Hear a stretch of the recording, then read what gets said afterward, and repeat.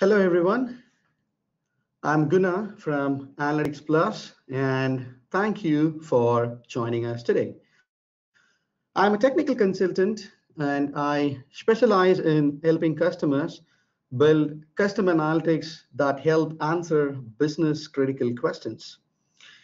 So please post your questions using the questions panel on the right-hand side, bottom corner of your screen, and I'll answer them at end of this webinar. Analytics Plus has helped a lot of customers get the best out of their ServiceDesk Plus data by providing deep analytics on help desk operations. With out-of-the-box um, reports, we are able to uh, you know tightly integrate our service desk and give you 300 plus reports and dashboards. These dashboards uh, reduce your report building time by 30%. So as a part of uh, continuously expanding our help desk reporting capabilities, I'm thrilled to announce the launch of analytics for request history, projects, and solution modules. Let me brief you on what analytics you would get on these modules. So this is the overview of what you would get on the different modules that we are uh, launching today. So the request history analytics helps you draw a timeline of tickets life cycle uh, through identifying the status changes, tracking the uh, technician changes, uh, and also tracking the group changes, which affects your SLAs and your resolution time. So we also introduced project analytics, which helps you track the overall progress of the projects and helps you understand the reality of each project. So the solution analytics helps you determine the effectiveness of the solution and its usage and helps you avoid repetitive and time consuming tasks.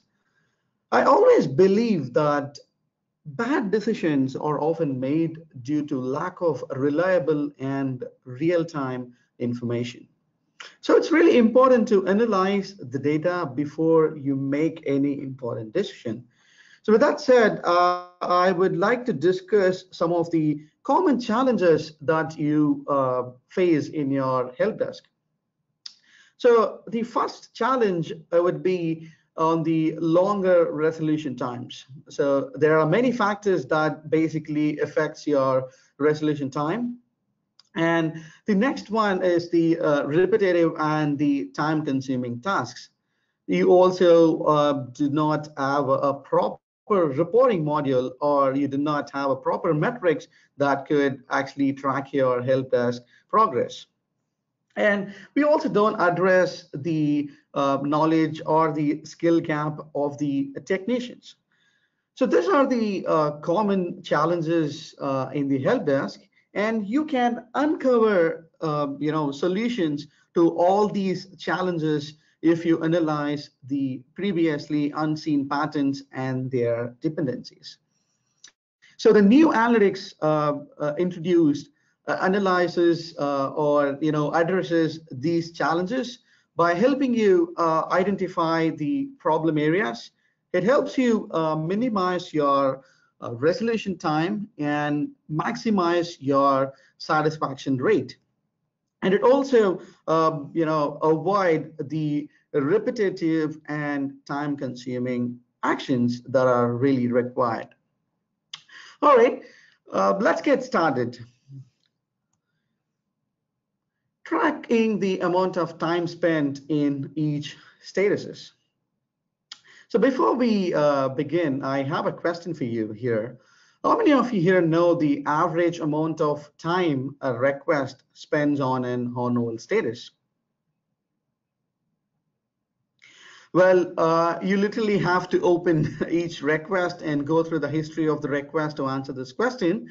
So I would show you how you can uh, track the amount of time spent by not doing that and uh, how the our default reports that we have help you solve this problem. But if you don't have answer to this question, then your help desk is in serious trouble and you will end up gaining more unhappy customers due to excess wait times. I often uh, hear, uh, you know, about the technicians changing the uh, status of the request from open to on hold, the most common transition in the help desk, which increases the uh, resolution time, as I said, unnecessarily. So, and also there are also uh, a wide range of uh, reasons that could increase your, you know, wait time on your ticket. Now let's take a look on uh, how the out-of-the-box report tracks your uh, status changes and gives you a better visibility.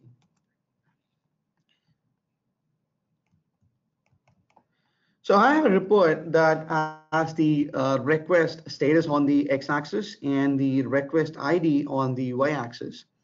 So I see that, uh, you know, the request ID one has spent 131 minutes so roughly two hours on the open status. And it's moved to on hold status, you know, where it spent 94 minutes, uh, an hour and a half approximately on the on hold status before it was closed. So what do you think, uh, you know, a technician would move the request uh, from the open to on hold status, and then it was closed? So maybe he is not uh, very confident about the resolution that he has provided. Or it could be he wanted the, uh, you know, the auto assignments not to happen on his bucket. So there are multiple reasons and you can figure that out if you uh, find a similar pattern across uh, the other request. So if you tend to, uh, you know, uh, find the similar pattern across other requests uh, using this report, it could point to one of the following reasons. It could be uh, due to the uh, late assignment of a, a, new ticket, or it could be the ignorance about uh, a customer response, or it could be the poor communication of issue to the support team, or it could be even the delayed response from the customer itself. So it's so this report gives you, uh, you know, the overall time spent in each uh, status of the request. And we also have a, a dedicated dashboard uh, that pretty much has uh, a few more important metrics like the average uh, status change per request. And it also uh, talks about the average on hold time and the average time in open status. So the KPIs uh, in the uh, dashboards uh, are uh, you know plotted as a widgets, so it easily compares the present value uh, with the previous value. So I see that uh, you know the average on-hold time has drastically incre you know increased from 10 minutes to 30 minutes, and the average time in open status has has decreased you know from 45 minutes to 30 minutes. So it gives me a visibility on uh, where my help desk is towards in terms of uh, achieving my uh, resolution by avoiding the wait times. And also it talks about the most frequent status change. So it seems to be from on hold to, I mean, from open to on hold. So the other um, reports that are in the dashboards talk about the quarter on quarter comparison of time spent in each status and the uh, yearly comparison of time spent in each status. So it also talks about the most frequent uh, status change for the last 12 months and so on. So this dashboard would definitely help you identify the backlogs and create a remedy that applies to your entire help desk or to an IT uh, uh, service. Right. And I know for sure uh, that the next question that comes to your mind after looking at the status history dashboard would be, can I know the amount of time a technician spends on each request or a dashboard to understand the technician history? Yes, we heard you and uh, you know also got you covered. Before I uh, deep dive into this, I want to recall an incident uh, that happened a month ago my mobile internet suddenly stopped working during one of my overseas trips. After trying out some basic troubleshooting, I decided to uh, uh, you know, call my uh, phone company to get some help. Uh, Uh, so the first technician whom I spoke with confirmed that there is no network issues and suggested I change the network settings and do a restart. That worked, but only for a very short time. In the next three hours, trust me, I ended up talking to multiple technicians for the same issue and I was really pissed off because everyone I spoke to was asking me to do something a previous technician had already suggested or asked me for information had already shared. You know, the same settings change were suggested by all technicians in the next three hours, and I was without internet uh, for the next two days actually. In the end, you know, it all turned out to be an issue on their network. So I'm sure everyone would have come across this scenario once in a while. So let's let's apply this scenario in the help desk terms. Um, let's assume uh, the customer logs a request. Uh, the first technician who handles this tries to resolve the request without an approach. Then he transfers the ticket to the next technician without a proper note on the steps followed. And the next technician begins the investigation with the same set of questions, which the first technician asked. And this process goes on as long as the, the request uh, you know, uh, lands to a technician who is trained or aware of the solution. So let's take a look at uh, the report that talks about the, uh, you know, the technician uh, change. And it also tells me how much time a technician spends on a request. So for, uh, for example, I see on um, request ID 7, John Roberts has spent 25 minutes and then it is transferred to Jennifer and she spent around 35 minutes and then it was moved to unassigned. So this is uh, uh, this is not a normal pattern that you get in your help desk, but this sort of tells me whether the technician lack expertise in handling the request, and you know it was moved to un, you know the unassigned state without an action, which increases your resolution time. The wait time of the uh, customer has increased enormously.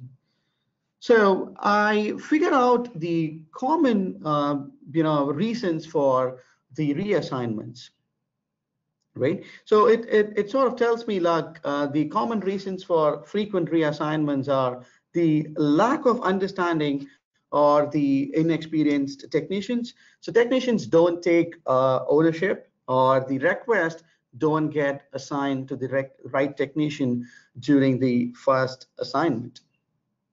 So uh, the technician history dashboard uh, sort of delivers uh, the insights about the average technician change per request, the average time uh, a request uh, you know stays on the unassigned state, or the average uh, tech change per request.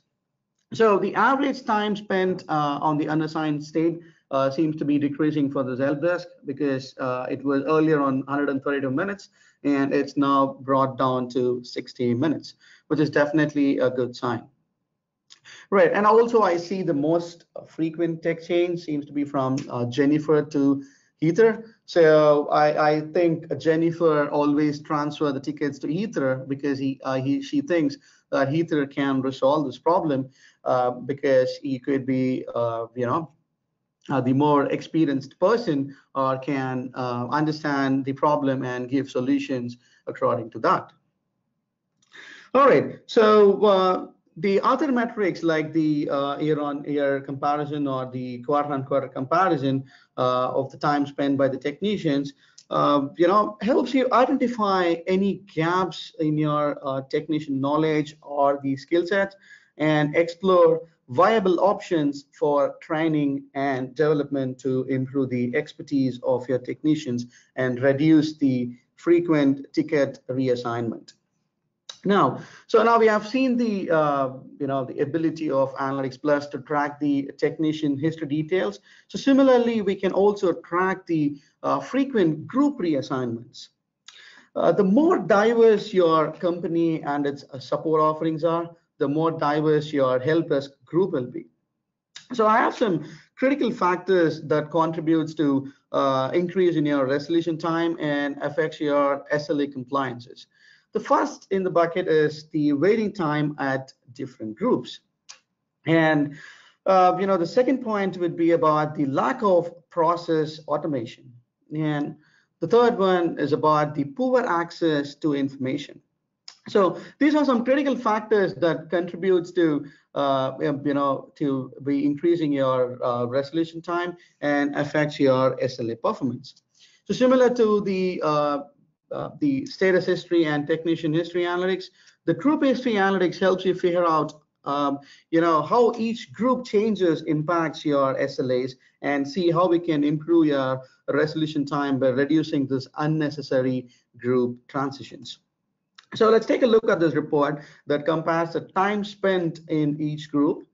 And it is obvious that the request on an average spent uh, around 150 minutes uh, without a group assignment for this year across all quarters, right?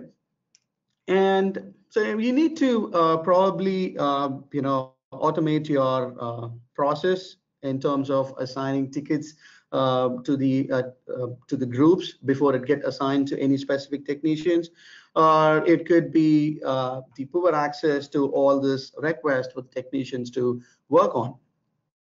So uh, we also have a dedicated dashboard for this uh, group history analyst that talks about the average number of group changes and the average time without a group association so, uh, you know, it sort of increased uh, this month. It seems to uh, find uh, close to 18 minutes of increase in the uh, wait time. Uh, and the average time spent in each group seems to be, again, increased from 45 minutes to 51 minutes. So this sort of helped me to understand, you know, the measures that I need to take, you know, or it probably it could be uh, helping me categorize my incoming request. And based on the technician expertise or the group expertise the request can be distributed and resolved on time if i automate my uh, you know assignment rules. So uh, this pretty much uh, covers up the uh, the analytics that we have on the request history module now, let's quickly jump on to the project analytics. So most of the project management software that are currently in the market are excellent at capturing project details, but do they really give you an insight to track the progress of the project from start to finish? You know, in most cases, it doesn't. So how many of you know about the, uh, the burn down chart? A burn down chart uh, measures the work left to do versus time, which is actually a key part of agile uh, project management. Now let me show you what uh, a burn down chart look like. So the burn down chart has two components, say the actual uh, completion trend and the ideal uh, completion trend. Now, let's say you have a project to upgrade your uh, Windows Server OS, and to complete this project, you have seven days. Uh, so the target to complete the project is before the deadline. And uh, to achieve this, the ideal way of working is to spend two hours, um, you know, a day uh, to uh, to be able to complete this before the estimated time. And uh, the green line in the report uh, tells you uh, if you spend two hours, then probably there are high chances that you would complete the project before the deadline. And I've learned uh, from one of the recent surveys, it is estimated that 80% of the project members invest a large amount of time only a day before or a week before uh, the project deadline that's exactly uh, what the actual completion trend will measure. And uh, this tells you what amount of time your project member actually spent to complete this report. So uh, looking at this report, I can tell you uh, my project members have not spent the time for the first three days. And suddenly I see someone has put in a considerable amount of time on the fourth day and the fifth day and completed the project before the estimated time. So one thing you have to understand in the burn down chart would be, so if the red line is uh, below the green line, uh, which means you are ahead of the actual schedule, which is actually good because uh, I see that someone has put an incredible amount of time uh, so that my uh, you know actual action uh, on the project went ahead of the schedule and I was able to complete on my time. And especially for a project manager, these burn down reports are great because these burn down report uh, displays the current status at any given point in the time and uh, it shows the impact of the decisions that you make and it warns you early if things aren't going according to the plan. So the analytics on the project module help you track uh, project and the milestone progresses using this burn down charts. And uh, we also have uh, a dedicated dashboards for this project analytics. So the burn down and the burn up dashboard will help you track the uh, project and the milestone progress without having to open each project, each milestone and tasks.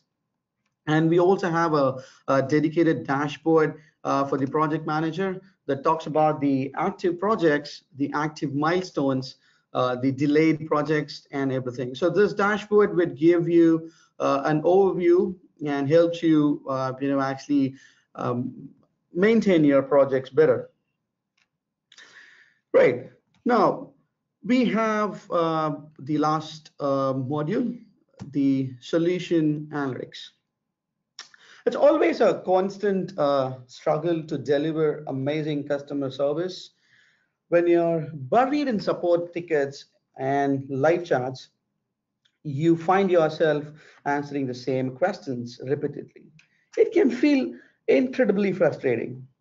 When you hit this wall, you may think, how can I scale uh, my customer support? How can I help more customers in less time with the same quality of service? Well, according to me, uh, a good knowledge base can scale out your customer support program while improving the overall customer experience. Uh, the uh, you know a good knowledge base helps customers solve problems on their own. So you need to understand uh, you know the following things because uh, when you create a, a, knowledge base, you should understand the effectiveness of it. Uh, you should you know actually measure the usage, and you should also you know actually track the top solution contributor? Well, the out-of-the-box dashboard on the solution module delivers exactly that. So now let's take a look at the uh, dashboard. So the total solutions that were uh, created um, so far is 50, and we have 20 solutions that is in the uh, pending approval status, and we haven't published any solutions so far. And the top solution contributor seems to be Jennifer Doe. And the top solution user is Ed Holmes. So probably uh, if we take a look at uh, a report that talks about the uh, solution usage by the technicians, as you see, Ed, uh, he used uh, the solution 27 times. And um, this could definitely reduce Ed Holmes' uh, you know, resolution time and I'm sure he would make his customers happy. So uh, there are you need to find out the correlations, and uh, the dashboard would definitely give you an overview on your solution modules. Great, and uh, you know if I if I was a manager, I would really present uh, a special gift to Jennifer Doe for being the top solution contributor while building a library to create more happy customers and save a lot of time for the technicians. All right. So, uh, you know, these are the different uh, analytical, um, you know, modules that we have introduced in the latest version. And I would also like to talk about uh, some of the cool features that we have recently introduced. The first in the list is data alerts, which is my favorite feature. Data alerts helps you uh, stay tuned with metrics that matters the most by simply configuring an alert. And uh, for example, if you want to make an informed business decision, you need to track key changes in your business data. And to be honest, manually monitoring all the important changes in your business data is next to impossible. So with data alerts, you can set up uh, varying levels of conditions, uh, you know, and you could be uh, notified in-app or in an email. So let me show you uh, how we can configure the data alerts. So, uh, you know, according to this report talks about the SLA compliance trend. And if I want to set an alert uh, to, to, to uh, tell me uh, if the SLA compliances uh, goes below 90%, uh, you know, I can set an alert and this can pretty much give me an notification through email or I could get a notification in the app when I log in. So the next feature is the commenting. So comments let you collaborate with your colleagues like never before because comments uh, lets you uh, start a real-time conversation uh, with your uh, collaborators uh, to discuss, uh, you know, around the key business metrics, facilitating the the collab, you know, the clients and the user to make some collaborative decision making. So all you have to do is just, you know, share this report with them and invite them to this a commenting feature and they, you can pretty much discuss about metrics that would uh, matter the most and uh, make some brilliant decisions with your discussions. And the next one I would like to really talk about is our visualizations.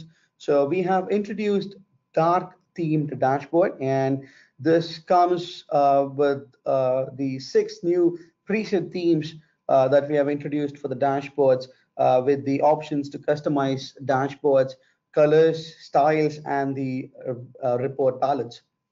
Uh, this will uh, this will be very beneficial for you know for users who want to embed their content you know in their website, and this can be suited based on your website or the applications. So I can just go to this theme section. I can pick the different themes that I I can I want. So there are uh, six preset themes, and you can also customize your own uh, themes here for this dashboard. And uh, Analytics Plus now lets you import uh, data from uh, CSV, Excel, uh, JSON, HTML, and any zip files that are basically stored on any cloud drives, such as um, a Dropbox or Google Drive, OneDrive, or Box that way uh, it enhances your uh, reporting and the analytical capability. And you can also schedule uh, periodical import from your cloud drive so the data is always kept live. Right, uh, so if you would like to uh, download the free 30-day trial for analytics, please scan this QR code. Um, and once again, this is Analytics Plus uh, free 30-day trial, the business intelligence solution from ManageEngine, which helps you visually analyze your help desk metrics and combine your help desk data with the data from other applications. So if you're already using Analytics Plus and ServiceDesk, please upgrade to the latest version of both products to get these new reports automatically. I hope you have enjoyed the webinar and I will leave you all with a simple question. Uh, why spend hours generating reports when you have Analytics Plus? Think about it. I'll meet you all soon with a fascinating topic. Until then, it's Guna signing off. Have a great day.